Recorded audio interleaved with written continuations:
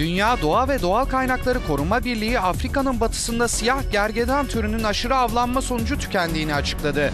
Birliğin yayınladığı soyu tükenmekte olan hayvan ve bitki türlerine ilişkin kırmızı listesinde Afrika beyaz gergedanı ve Java gergedanı da bulunuyor.